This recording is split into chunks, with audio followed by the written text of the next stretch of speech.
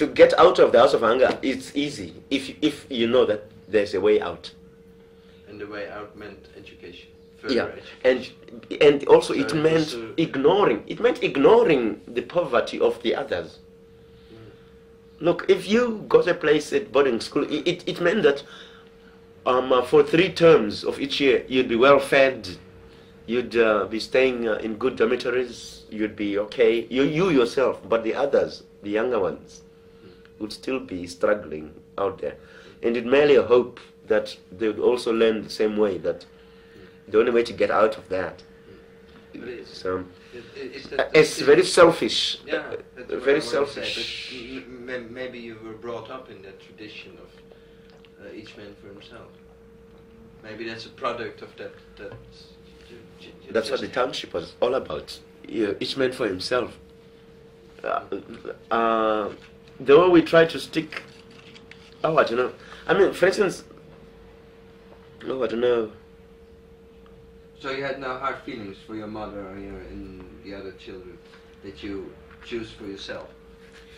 you Um, thought I want to escape from this house of hunger, so I go on with further education, and I do not make the choice for, uh, let's say, picking a job as a teacher, so that I can do something for them.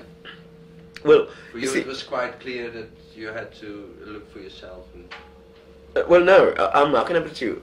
I had been reading all these books from the rubbish dump, and I knew by that time I knew that there was another world out there.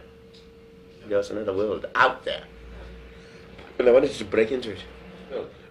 to escape the sordid poverty of the township, I'd already acquired the habit of reading heavily.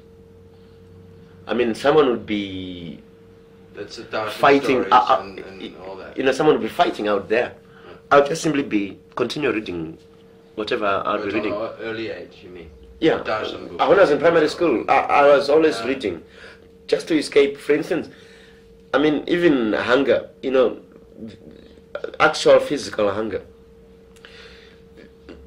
If I picked up a, a detective novel, I was reading everything I could get.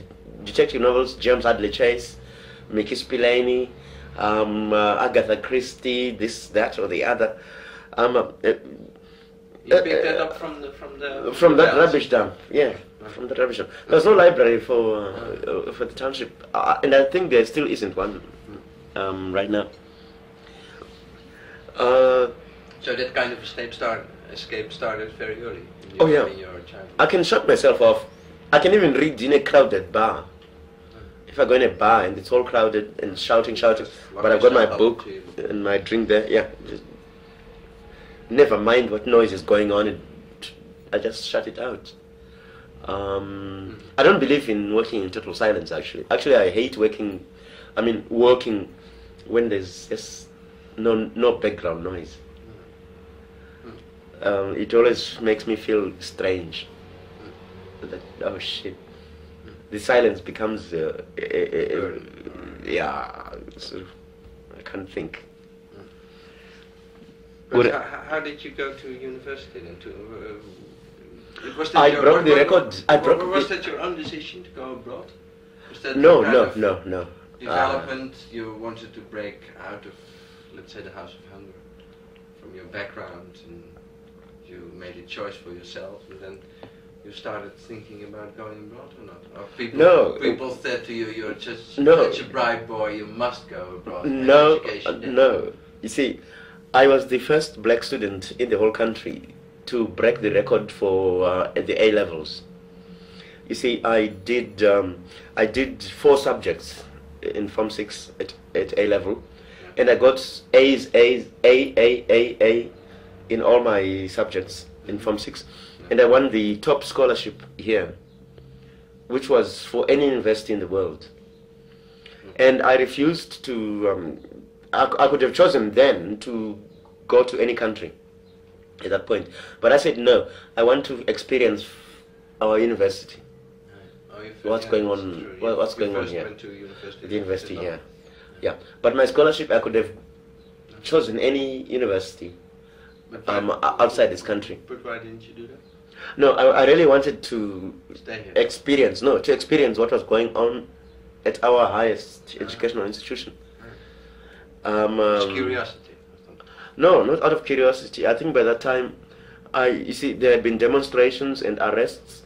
Lecturers had been deported, especially um, Professor Terence Ranger. Um, he had been uh, doing a kind of Martin Luther style uh, campaign here against discrimination in town here.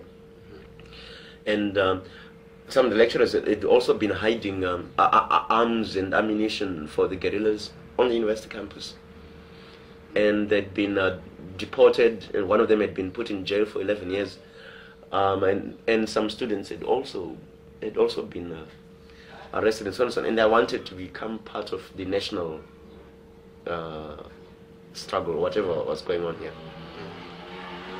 As soon as I got there, you see, uh, that's when I, I really got involved in, in the politics of at the university, which led to my expulsion in 1973. But um, um, in, in, what, From the in what department did you study?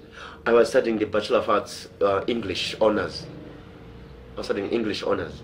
Yeah, yeah, English honors. It merely means English uh, language and literature Yeah. alone. Yeah. Um, uh, the but honors by- degree is But by that time, after boarding school, and you, did you feel strange from estranged from your, uh, let's say, the environment you came from? By that time. Uh, by that time, Vengere and Uh, how, how, Changwena. how, how much uh, affinity did you have by that time with with the milieu you came from? frankly none at all i had seen that it was it, that there was no place for me in the rough and tumble of um, uh, of uh, Rusape that actually the decisions are made here in the then Salisbury and that they are made by people who actually are up there and that I was going to be one of those up there who would make The those decisions yeah. yeah, would make those decisions. Look, it's, it's like even now, for instance, when people ask me, um, uh, for instance, that why don't you write in Shona, so that more people, more of my people can read my books. I always simply say, look, the masses cannot change anything because they are not in the Politburo, they are not in the Central Committee, they are not in government. They actually, they may elect people, but they are not the ones who make the decisions. And, and so my books You address yourself. I address myself to those people, hopefully intelligent, uh, so that when they read my books, they will see, uh, well, what one of themselves thinks.